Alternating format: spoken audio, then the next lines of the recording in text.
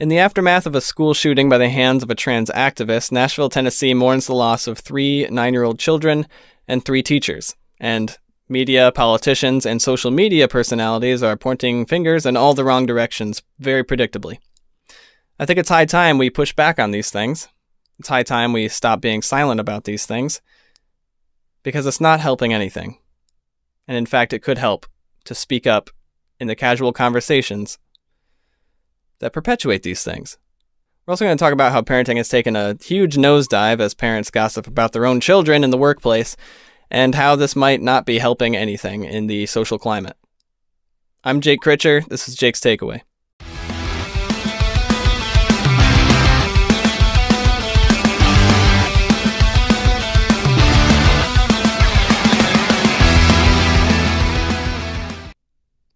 I want to start by saying if I get any sort of recognition, any sort of um, publicity on this video on YouTube or Instagram, I will almost certainly get taken down. Now, the, the solution to that is for you to go to, to Rumble and watch the full content there. Because they do not do what YouTube and Instagram and Twitter and all them do. They don't censor, they don't take down, they don't ban. So if you want to see everything, it'll be there. I implore you to go there on Rumble. It'll reliably be there. It's it would not shock me if I got banned or taken down on YouTube. So go to Rumble, subscribe to me there. You'll get all the same content and you'll have no fear of me being banned or removed. Well, today I have the severe discomfort and displeasure to address the Nashville, Tennessee shooting in a Christian school by the hands of a trans activist. Um, nobody wants you to know that this trans activist was a woman identifying as a man, and that doesn't seem to matter at all. A killer is a killer. Perhaps predictably, politicians are pointing their fingers at all the wrong things, including things like inanimate objects, such as guns, and the fact that we need to change gun laws to keep this from happening. Ignoring the fact that there are no armed security guards at the school, the fact that the shooter was able to easily get in a side entrance by shooting a lock, and ignoring the fact that this could all be solved with a few armed citizens. But they waste no time at all blaming the guns themselves and pushing for gun laws when it's only been hours since the shooting. But I'm not here to talk about that. That's that's the predictable side of things. I'm here to talk about how the victims are not really the victims in some of these people's eyes. The victims are in fact perpetuating the result of this shooter. Trans activists are, needless to say, upset. Not because one of their own has committed an atrocity against people, but because the killer has been misgendered by the police. Let's take a look at one of those tweets. Five times CNN misgendered. No correction. A mass shooting is horrible.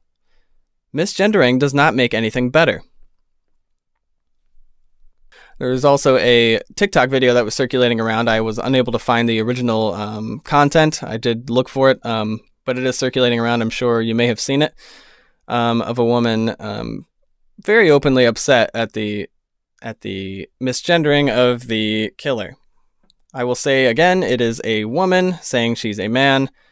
Her pronouns do not matter in this scenario.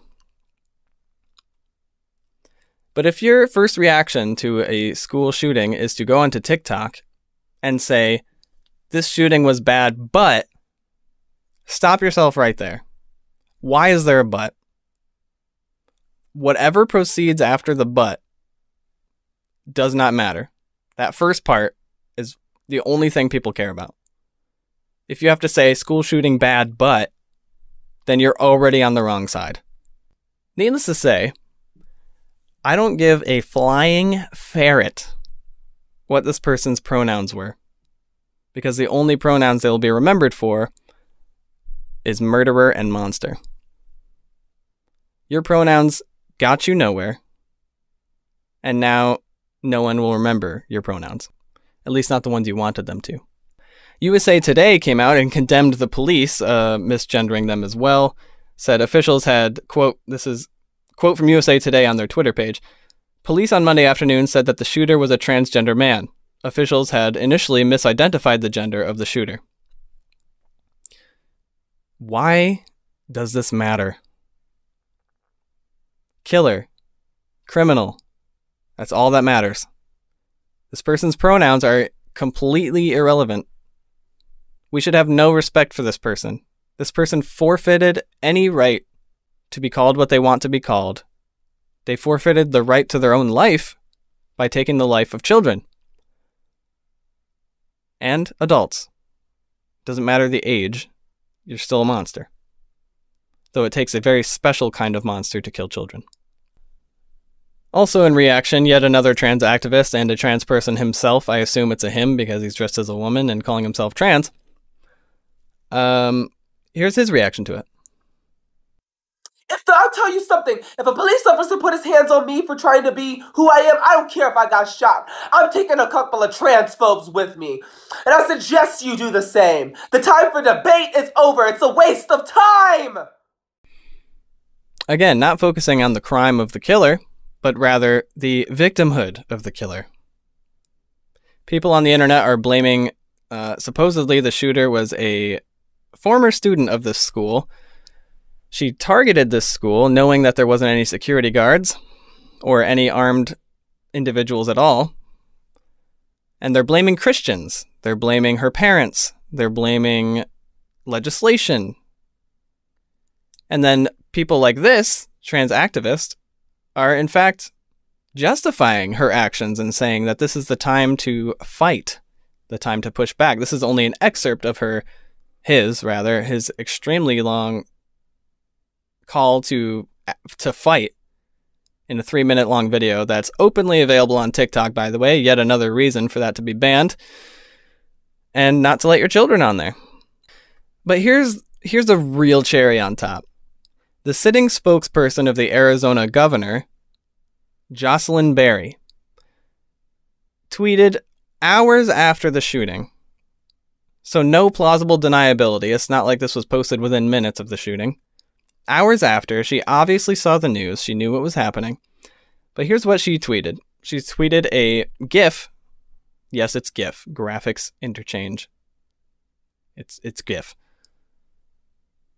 She tweeted out us when we see transphobes, and a gif of an actress from I don't know what movie holding two pistols. Us when we see transphobes. Notice she puts herself in this us category, pointing guns at transphobes. Needless to say, this was quickly ridiculed, and she um, very hastily blocked pretty much everyone's access and made her account private because there's no defending this position. It is indefensible but this is the sitting spokesperson of the Arizona governor. Now, of course, they're going to try to brush this under the rug, and through silence and ignoring it for long periods of time, they're hoping people are going to forget this. But we're saving receipts. People are screenshotting it. We're not forgetting this. This is someone that we put into power. This is someone that was voted in, as you can say, uh, you know, as illegitimate as it may have been. This is someone in power that you can talk to. This is someone in power you can protest against. We should be contacting, we should be calling this person, we should be calling the Arizona governor, sending letters, sending emails, and relentlessly asking for the firing of this person who is clearly advocating for violence against transphobes, quote unquote. We can't let them ignore this problem until it goes away. This is why we're where we're at. This is why culture is being diluted by our the powers that be. They say politics are downstream of culture, but it goes the other way too. There's been yet another tweet that's been circulating on the internet um, by an account called Pinko Scum. And uh, I would say the scum part is quite aptly named. But here's that video that's been circulating.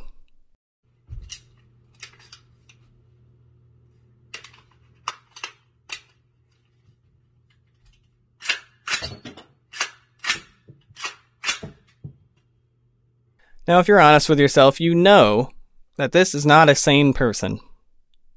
You know that this person has some serious issues. Now, I'm not trying to say that all trans people or all trans activists are violent, obviously not. But I will tell you that they, in fact, exist. And that is why we had this school shooting. I'm done pretending that all these people are just, they just want to be left alone and they just want to do their thing. Their ideology hinges on the fact, the idea that everyone around them has to conform to this ideology. Otherwise, it falls apart. As soon as someone disagrees with them, they are no longer what they are. Everyone has to believe that they are the opposite gender, or a non gender, or a made up gender.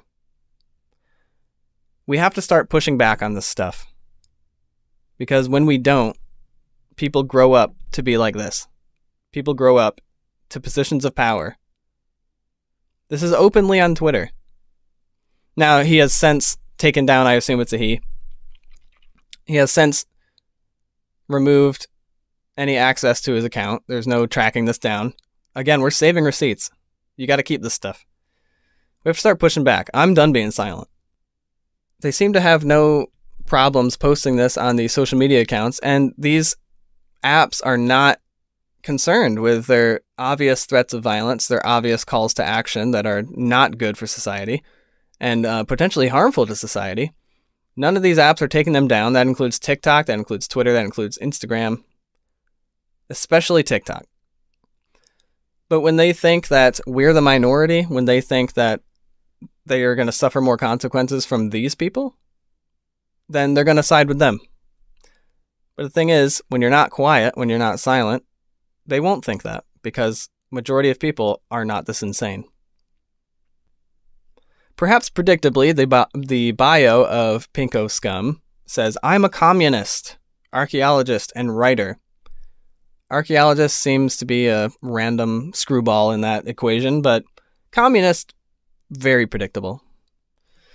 All right, I've got one last unfortunate TikTok video to show you. Um, let's take a look at this uh, this lady who decided she would capitalize on this horrible incident to uh, get some clout. I wonder if the parents of the victims of the Nashville shooting today would still have their children if these trans bills in Tennessee were never a thing. I'm not a parent, but if I were, I'd be real, real mad at the government. I'd be real, real mad at the government. Mm.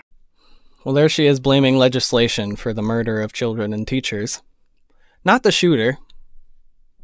Legislation. She's blaming the people of Tennessee.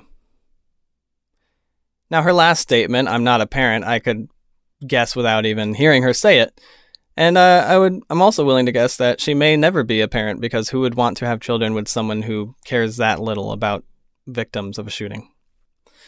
She took this time, this moment of horrible dread, took this moment to go onto TikTok and complain about legislation when there are people dead took this moment to show a little more cleavage, took this moment to make a stupid point. We have to make fools of these people. We have to force them to defend their positions because their positions, in fact, are siding with the criminals. Perhaps this isn't the lighthearted content or the rather lighthearted take on things you're used to, but I'm a little mad. And I can tell you if I were the a parent of one of these children, I would be a lot more angry, especially seeing the bile pouring out of these awful people online who don't give a rip about anyone who suffered any consequences from the ideolo- ideologies and the suffered at the hands of these criminals. I don't want to be talking about this. I don't think anybody wants to be talking about this, but it felt like an injustice not to bring it up, considering that I do talk about politics and news. Um, but that's really all I have to say about it. We need to stop being silent and compliant because it perpetuates this garden of insanity that they are growing. And as we ignore it and watch it grow and pretend it's not there, it gets more and more obvious and more and more bold and invades the wholesome garden of the majority of society. We, we got to speak up to these people. Kind of along the same notes, slightly going to shift away because I don't want to leave you off on a super heavy note. I realize this is heavy stuff and you probably don't want to think about this all the time. And it's good not to. So you want to you want to not dwell on these things, especially when there's not a whole lot you can do about it. It unfortunately in almost a cruel way, life goes on. Along these notes, I have spent a lot of time working in customer service and a lot of time working in retail and uh, just a lot of interactions with people who, let's just say, wish they were in a better spot. But during my time in food service, I, I worked with a lot of single moms, and they often liked to gossip about their kids and complain about how they don't listen to them, complain about what they're doing, and complain about their personalities. I've even heard them say, I don't like my kids and but I have to love them kind of thing. Yeah, this is this is real stuff that happens. Um, but my wife was telling me about an interaction she had, she had overheard at her workplace, and um, it it might um, blow your mind a little bit. So she was telling me this um, actually just a few hours before I recorded the show, and I figured I had to include it.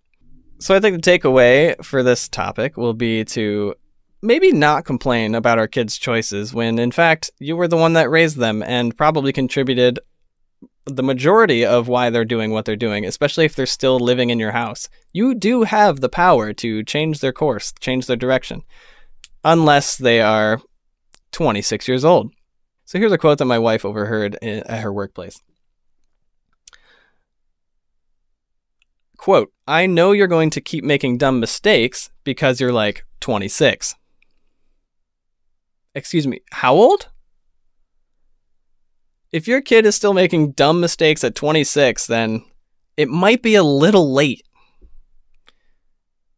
And perhaps the fact that you're saying he's going to continue to make dumb mistakes is in fact perpetuating these dumb mistakes.